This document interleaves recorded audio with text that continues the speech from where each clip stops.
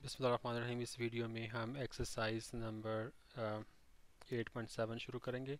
शुरू करने से पहले बात बता दूँ, हमने जो थ्योरम सेवन किया, उससे पहले उन्होंने साइड एंगल साइड के बारे में बताया था कि ज़िला, जाविया ज़िला थ्योरम के हम, अंदर हमने एंगल एंगल साइड यानी कि जाविया जाविया ज़िला प्रूफ किया, और थ्योरम के एंड में उन्होंने ज़िला जाविया ज़िला बताया हुआ था, यानी कि एंगल साइड एंगल पॉइंट मैं ये बताना चाह रहा हूँ कि इनका जो नाम है ना, ये नाम से एक इंपॉर्टेंट चीज़ आती है। इन नाम में जो सीक्वेंस आता है ना, इससे में एक इंपॉर्टेंट चीज़ पता चलती है। इससे पता चीज़ चलती ये है कि ये साइड है ना, दरमियान में एंगल आ रहा है तो इसका मतलब ये कि दो साइडें और दरमियान वाला एंगल इसको जब आप एंगल एंगल साइड पढ़ते हैं तो इसका मतलब ये कि दो एंगल अब चूँकि साइड इनके दरमियान में नहीं आ रही, साइड पे आ रही है, इसका मतलब कि दो एंगल और नॉन इंक्लूडेड साइड। यहाँ पे दो एंगलों के दरमियान साइड आ रही है ना तो दो एंगल्स और इंक्लूडेड साइड। उर्दू में इस तरह के दो ज़िले उनके दरमियान का जाविया, दो जाविये और एक ऐसा ज़िला जो दरमियान में नहीं है, और ये कि दो जाविये और दरमियान वाला ज़िला, लिहाजा जो लेटर्स का जो सीक्वेंस है ना, वो आपके जहन में होना चाहिए कि उसका मतलब क्या है। क्वेश्चन नंबर वन उसमें उन्होंने एक डायग्राम बनाई हुई है। ऐसे करके एक। ए बी सी ये डी है। यहाँ से एक लाइन ऐसे जा रही है। ये एंगल थ्री है, ये एंगल फोर है, ये वन है और ये एंगल टू है। वो कहते हैं जी कि एंगल वन जो है वो कॉन्ग्रेंट है एंगल टू के और angle three congruent angle four के तो आपने साबित करना है कि बी सी कॉन्ग्रेंट है ए बी के और ए डी कॉन्ग्रेंट है सी डी के. बी सी कॉन्ग्रेंट है ए बी के. बी सी कॉन्ग्रेंट है ए बी के. अब इन दो ट्राइंगल्स की बात हो रही है. ठीक है? तो आप ये देखें कि इन ट्राइंगल्स में एंगल और एंगल बराबर हो गए कॉन्ग्रेंट हो गए. ये साइड कॉमन है। भाई इस ट्राइंगल में और इस ट्राइंगल में देखें, ये एंगल ये एंगल बराबर, ये साइड और यही साइड चूँकि कॉमन है तो बराबर, और ये एंगल ये एंगल बराबर। तो क्या है कि एंगल साइड एंगल की वजह से आपकी triangles A, B, D, sorry, ये कॉन्ग्रेंट है ट्राइंगल बी, सी, डी के। जब ट्राइंगल्स कॉन्ग्रेंट होगी तो इनकी आप साइडें जो कॉरस्पॉन्डिंग है वो कंपेयर कर लें तो बी, सी, ए, बी के इक्वल होगी। ये ये वाली साइड फिर ऑटोमेटिकली इस साइड की इक्वल आ जाएगी। और ए डी वाली जो साइड है, ये साइड इस, ये वाली साइड फिर ऑटोमेटिकली इसके इक्वल आ जाएगी क्योंकि ट्राइंगल्स कॉन्ग्रेंट हो गए क्वेश्चन नंबर टू एक कह रहे हैं कि अगर मसावी यानी कि आइसोसलीज एक ट्राइंगल और दो साइडें बराबर हैं, ये वाली साइड के बराबर है। अच्छा अब वो ये कह रहे हैं कि इसका जो बेस है ये जो बेस है इसका फ़र्ज़ करें ए बी सी का इस बेस आ, किस के कायदा के सिरों से सॉरी बेस के सिरों से बेस का सिरा क्या एक सिरा ये है यानी कि एक बेस का एंड ये ये बेस है ना स्ट्रैंगल का तो एक एंड ये है और एक एंड ये इनके कहने के मुखालिफ जावियों पर सॉरी मुखालिफ साइड्स पे, यहाँ से जिसका मुखालिफ साइड क्या आती है ये? यहाँ से अगर आप कह रहे हैं कि आप एक गिराएँ अमूद, यानी कि आप एक नाइन्टी का एंगल बनाएँ, इसी तरह यहाँ से इसके ऊपर एक नाइन्टी का एंगल बनाएँ तो फ़र्ज़ कर इसका नाम मैं डी और ई e दे देता हूँ। तो वो ये कहना चाह रहे हैं कि बी ई e की जो कॉन्ग्रेंट होगा सी डी के। यानी कि दोनों की लेंथें बराबर होंगी। अच्छा जी, अब ये हमें करना क्या है? बेसिकली दो ट्रायंगल को कंपेयर करना है। एक ट्रायंगल बनती है जी ये वाली ठीक है जो पर्पल कलर आ रहा है, एक ट्रायंगल बनती है ये वाली जी, जिसमें ब्लू कलर आ रहा है। आप देखें कि आप ट्रायंगल बी डी सी को कंपेयर करने लगे हैं, किससे? ट्रायंगल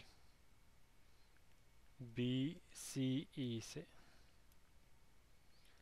अगर इन दो ट्रायंगल्स को कॉन्ग्रेंट साबित कर दें तो ये फिर ये साइडें बराबर आ जाएँगी। तो देखें भाई कि इन ट्राइंगल्स में बी सी कॉन्ग्रेंट है बी सी के वजह कॉमन साइड कॉमन साइड है ना? तो ये आपकी एक साइड बराबर होगी। अच्छा अब ये देखें कि ये जो एंगल है बी ये कॉन्ग्रुएंट है किस एंगल के एंगल सी के? है कि नहीं है? बी सी बी सी ई ये ट्राइंगल हाँ ये एंगल कॉमन है। एज नॉट कॉमन बट ये ये कॉन्ग्रुएंट है क्योंकि ये गिवन है हमें। उन्होंने बताया हुआ ना कि ये ट्राइंगल इस बड़ी वाली येलो ट्राइंगल में ये साइड इस साइड के बराबर जब ये साइडें बराबर हैं तो इनके एंगल अब बराबर होंगे। तो एंगल बी सी के बराबर है, ये गिवन है। तो एक साइड बराबर होगी, एक एंगल बराबर हो गया। और ये भी तो 90 का एंगल है ना? तो इस ट्रायंगल में ये एंगल बनता है सी डी बी कॉन्ग्रेंट है किसके? बी सी ई के। ये 90 का एंगल इसी तरह ये भी 90 का या ये ऐसे करके ये ये 90 का एंगल और ये भी दोनों 90 का एंगल है। तो ये भी क्या है? आ, आपका ये गिवन बल्कि कहना चाहिए। ठीक है, मालूम है हमें गिवन है। तो अब क्या है? Side angle angle side angle angle या एंगल एंगल साइड कह लें, एक ही बात है। उसकी वजह से ये triangle B D C congruent होगी sorry triangle B C E के।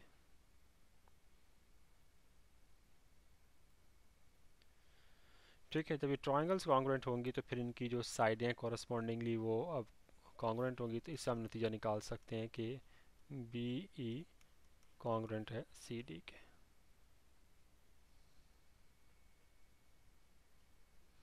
तो बहुत ही आसान सवाल था। अब क्वेश्चन नंबर टू का ना एक और पार्ट है, वो देखते हैं कि वो क्या है।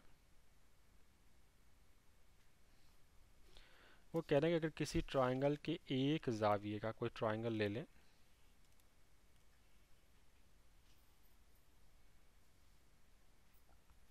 इस ए बी किसी एक जाविये का नासफ, यानी कि उसका बाइसेक्टर बाइसेक्टर इसका मतलब कि ये एंगल वन एंगल टू के इक्वल है। अगर बाइसेक्टर इस वाले साइड के ऊपर आके 90 का एंगल बनाए, अगर अगर ये 90 का एंगल बनता हो तो ट्राइंगल जो है ना, वो आइसोसलीज होगी। यानी कि मसावी साकैन होगी। हमें नहीं पता ए बी सी मसावी साकैन है या आइसोसलीज है। वो ये कहते हैं कि अगर एक साइड एंगल का बाइसेक्टर लें और दूसरे पे जाके 90 का एंगल बना दे तो तब आइसोसलीज होगी। साबित करें। तो फिर वही बात आ गई, दो ट्राइंगल्स बन गई ना आपके पास। तो आप इनको आपको कंपेयर करना पड़ेगा। इसको मैं डी पॉइंट कह देता हूँ। तो ट्राइंगल ए बी डी अब आइसोसलीस के लिए मुझे ये साबित करना है कि ये साइड इस साइड के इक्वल है। ठीक है? तो मैं ट्राइंगल्स को कंपेयर कर लेता हूँ। ए बी डी को मैं ए सी डी से कंपेयर करता हूँ। तो देखें एंगल वन कॉन्ग्रेंट है एंगल टू के। ये गिवन है।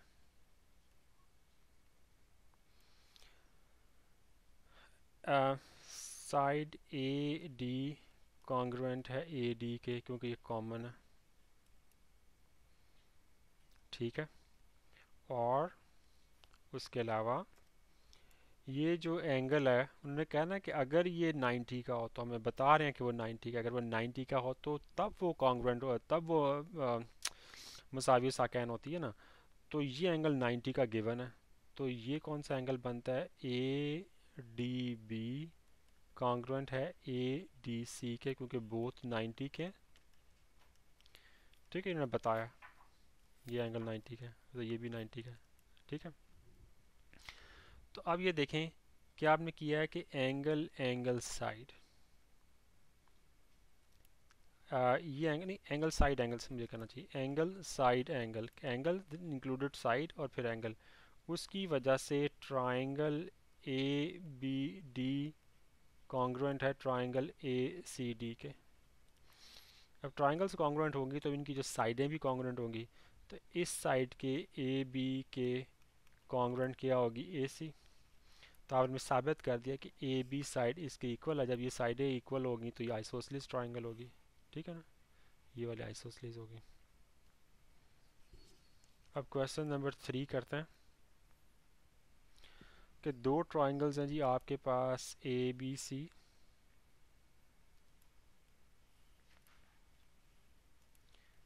और इनमें ना बी सी जो है ना, वो मुश्तरक एक बेस है इनका। और दूसरी ट्राइंगल डी बी सी है। जो कि कॉमन बेस है तो फिर मुझे डी इधर बनाना पड़ेगा। और ये दूसरे की अपोजिट साइड में ये भी उन्होंने कहा है। अदरवाइज़ तो डी बी सी ऐसे करके भी बन सकती थी ना। डी में ऊपर पॉइंट ले लेता, लेकिन उन्होंने कहा कि अपोजिट साइड पे है।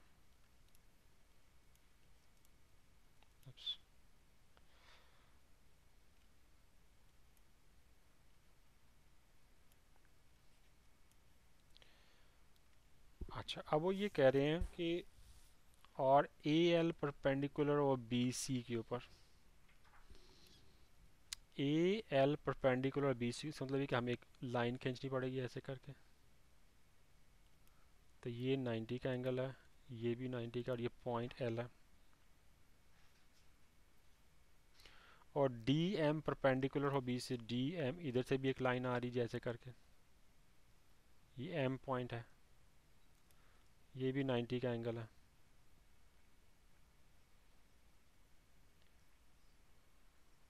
और ए एल परपेंडिकुलर हो डी एम पे ए एल परपेंडिकुलर हो, ये कुछ गड़बड़ कर रहे हैं। एक है ए एल परपेंडिकुलर हो बी सी के ऊपर, जो कि हमने बना लिया, फिर कह रहे हैं डी एम परपेंडिकुलर हो बी सी के ऊपर, वो भी हमने बना लिया। आगे वो कह रहे हैं ए एल परपेंडिकुलर हो डी एम पे ई एल डी एम पे तो परपेंडिकुलर नहीं हो सकता। मेरा ख्याल वो कहना ये चाह रहे हैं कि ए एल कॉन्ग्रुएंट है डी एम की। तो ए एल की लेंथ डी एम के कॉन्ग्रुएंट है और बाकी चीज़ें उन्होंने ये बताई थी, मैं लिख देता हूँ ताकि वो मिस ना हो कि ए एल परपेंडिकुलर था बी सी के ऊपर डी एम परपेंडिकुलर था बी सी के ऊपर और ए एल डी एम के बराबर है। ए एल डी एम के बराबर है कि ये लेंथ इस लेंथ के इक्वल है।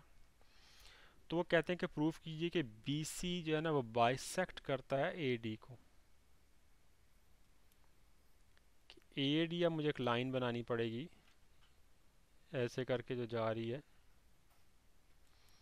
तो कह रहे हैं कि बी सी बाइसेक्ट करता है ए डी को। तो ये जो बाइसेक्शन का पॉइंट है, मुझे इसको भी नाम देना पड़ेगा कोई।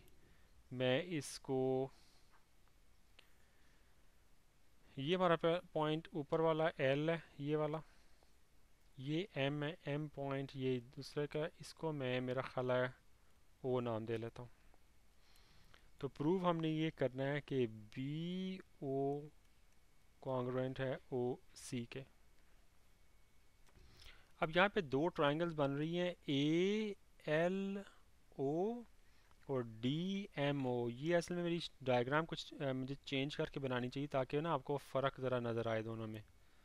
मैं इसको ना चेंज करके बनाता हूँ ज़रा टेढ़ा करके।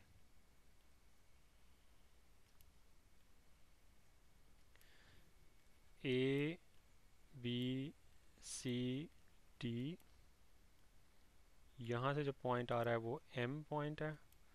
यहाँ से जो आ रहा है वो एल पॉइंट है। और ए और डी को मिलाने वाली लाइन जो है वो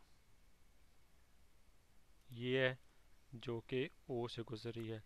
अब हमें ट्राइंगल ए एल ओ को कंपेयर कर लें अगर डी एम ओ से। हमने प्रूव ये करना ना कि ये लेंथ बी ओ बराबर है ओ सी के। सॉरी मुझसे थोड़ी सी गलती होगी। बी उन्होंने मैं स्टेटमेंट दोबारा पढ़ा, उन्होंने कहा कि बी प्रूव करना है कि बी सी तसनीफ़ करता है ए डी की। तो हमने बी ओ नहीं, ये साबित करना है कि ए ओ कॉन्ग्रुएंट है ओ डी के। ये साबित करना है। उन्होंने कहा कि ये चीज़ इसकी तसनीफ़ करती है। जब इसकी तसनीफ़ करेगी तो ए ओ कॉन्ग्रुएंट होगा ओ डी के। ये हमें साबित करना।